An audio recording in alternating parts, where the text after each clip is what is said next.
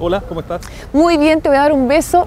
Muchas porque gracias. estoy por- muy contenta de, de estar aquí contigo, de estar en Curicó, de estar además en este ambiente tan bonito. Hablamos siempre por teléfono, así que en buena hora tengo la posibilidad de abrazarte y de saludarte acá en persona. Y qué bueno que hayas estado visitando comunidades tanto a nivel local como también en la periferia de Curicó. ¿Cómo es la recepción de los curicanos hacia tu persona y cuál es el objetivo de tu visita a Curicó?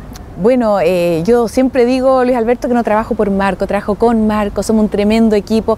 Por supuesto que vengo a hablarles de las propuestas de Marco, pero también a apoyar a Loreta, a Loreto, a Loreno Orellano, ¿no es cierto? Estamos también acompañando a Miguel Miño, hay una serie de líderes locales, así que estamos muy contentos también de darles nuestro apoyo y contarle a la gente nuestros cuatro pilares fundamentales.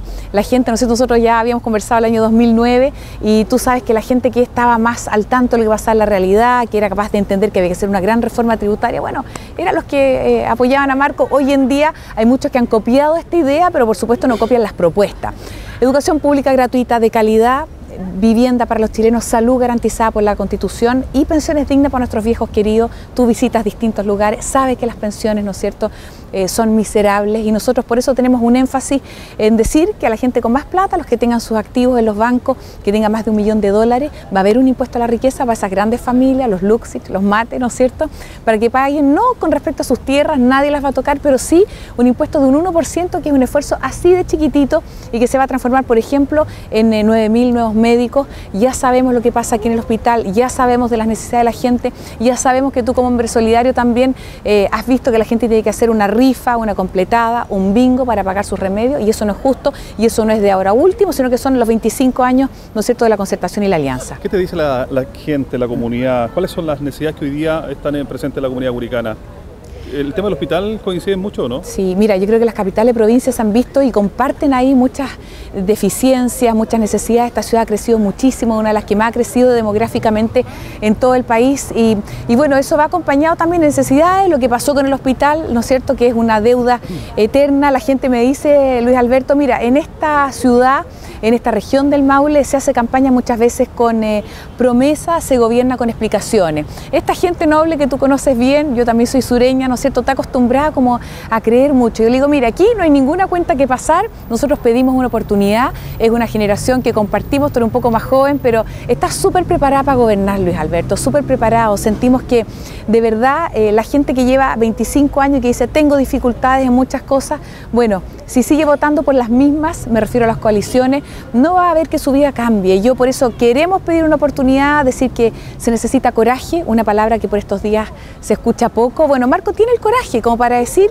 hay que avanzar independiente, ¿no es cierto?, de que tú te enfermes, ni Dios lo quiera, o pierdas tu trabajo. Bueno, el Estado tiene que ser garante. Este país tiene plata. Si uno dice, ¿por qué Argentina, que tiene dificultades, ¿no es cierto?, eh, burocráticas y de administración? Bueno, Argentina tiene educación pública gratuita de calidad. Si Uruguay tiene, si Brasil, si México, ¿por qué Chile no?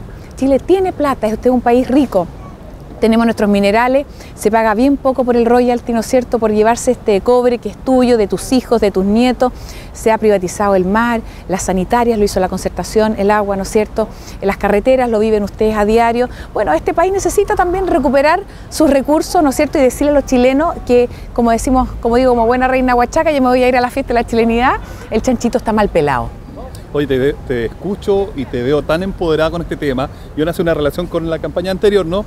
Te veo como hoy día estás mucho más estás con más fuerza, más empoderada y se nota un tremendo respaldo hacia Marco. ¿no? O sea, sí, un- pues muy- ah, con mucha convicción, porque yo creo, Luis Alberto, bueno, somos comunicadores, hemos trabajado juntos, ¿no es cierto?, en varias oportunidades, pero uno dice también, claro, que, mm, que cómodo es a veces quedarse, ¿no es cierto?, mirando lo que pasa, pero qué bonito es también poder entregar propuestas. A mí me apasiona la actualidad, la noticia, la contingencia, pero siento que hay que remecer este país, hay que golpear puertas, golpear corazones también y decirle a la gente que hay una oportunidad única de cambiar ese 17 de noviembre tu voto, mi voto, el de los curicanos, ¿no es cierto?, el de la señora que limpia la calle, el de la que hace pan. Bueno, vale lo mismo que el de los grandes empresarios, podemos cambiar la historia, son 30 segundos mágicos ahí, porque en otras partes hay posibilidad de tener plebiscito, muchas oportunidades de opinar. En Chile es solamente cada cuatro años. Bueno, la gente puede en esos 30 segunditos cambiar la historia de este país, si no yo les aseguro que van a pasar cuatro años de la mano de la alianza o la concertación y no va a pasar nada en Chile. Karen, tú recién has hablado de estos dos grandes bloques. Eh, El duopolio. El duopolio, claro, también. Pero también se habla un poco de las encuestas. ¿Los desanima de repente o no tiene que ver con la realidad el tema de las encuestas que se aparece, se difunden? Mira, por lo pronto esa encuesta se hizo cuando los candidatos eran otros, ¿no es cierto? Y esa encuesta nunca le ha dado bien a Marco, siempre lo han tratado muy, muy mal. Yo creo que hay que revisar la matriz, ¿no es cierto?, de quién hace esas encuestas, de qué parte del duopolio está. Eh, y decirle a la gente que lo que importa es el terreno, ¿no es cierto? La encuesta que yo veo día a día, las casas que visito, este país que hemos recorrido entero por distintos motivos. Hoy en día, ¿no es cierto? Eh, estoy abocada más a lo que es el sur, estuve en mi región, yo mi familia es de Puerto Montt, tú sabes, eh, en la región del Biobío también, Marco ha estado acá, estamos, ¿no es cierto?, en el norte, en el sur, en Tocopilla, una ciudad completa se levantó Luis Alberto porque el alcalde de San Román dijo, mire, aquí tenemos un tremendo hospital, pero no tenemos doctores, no tenemos especialistas.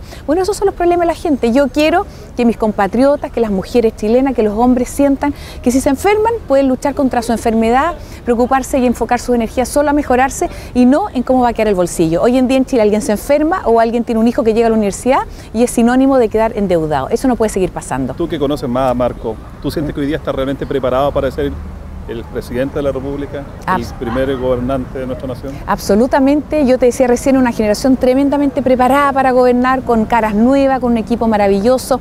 Andrés Solimano, por darte algunos datos, ¿no es cierto?, que es del Banco Mundial a cargo del plan económico, Juan Casasus en educación, que va a hacer que termine este CIMSE, esto de poner ranking en los colegios, donde sacar adelante, yo tengo dos sobrinos con capacidades distintas, sacar adelante un niño, ¿no es cierto?, con capacidades distintas, sea un desafío y no un estorbo, porque el año siguiente van a tener menos matrículas para su colegio. Este sistema perverso que estamos viviendo hoy en día, donde un niño no puede competir contra otro porque uno va a perder una persona pobre no puede competir contra otra por una cifra, ¿no es cierto?, la ficha de protección social porque uno va a perder. Eh, los pobres no pueden competir porque los dos necesitan ese beneficio del Estado, es injusto. Yo digo que esta altura también no solamente es doloroso, sino que además es indignante. La vez pasada, ¿te acuerdas, el 2009? Tú entrevistas a Marco, muchos le decían es muy joven, pero eso tiene una solución, Luis Alberto, que es natural y que es el paso del tiempo. Han pasado cuatro años, ya tiene más de 40, así que en buena hora ya estamos listos, preparados, después de haber recorrido Chile tantas veces y con todas las ideas y las propuestas para que este país sea distinto y no sigamos cuatro años más rehenes de este duopolio que se colude para no avanzar. Karen, ¿te impacta la pobreza? Tú que has tenido seguramente eh, la posibilidad de visitar eh, sectores de la parte rural, como también entiendo el sector suponiente. Visitaste Santa Lucía, un sector altamente vulnerable. Yo no sé que tantos políticos puedan llegar a meterse ahí, ah. porque, porque de verdad es, eh, tú bien lo decías, 40.000 familias en situación de pobreza hay aquí, ¿no es cierto? Eh, no es tan visible a lo mejor desde la plaza, pero, pero impacta, pues. Y este Chile, tú sabes que tiene recursos, entonces eh, no creo que, estas personas, que estas familias, que estos niños, que estas mujeres, que estas personas de la tercera edad puedan esperar cuatro años más.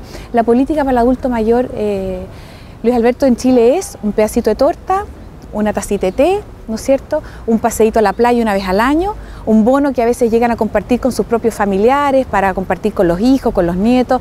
A mí me parece que eso a estas alturas, ¿no es cierto?, es, es doloroso, es tremendo, eh, no me gusta para mi país, sobre todo teniendo en cuenta que, hay recursos. Perfecto. Queremos agradecerte estos minutos para de conversación pues. bastante grata.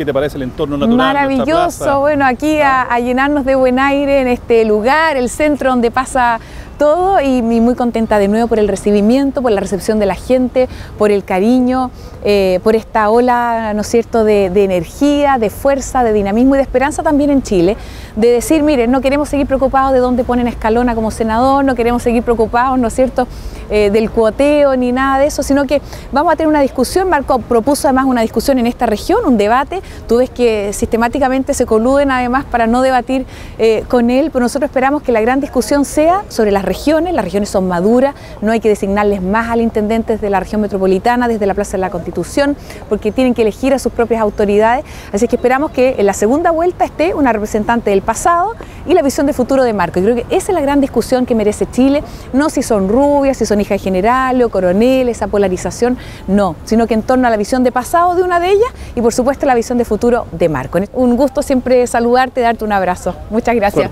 Que te vaya muy bien. Muchas gracias. Karen Doyen Bailer.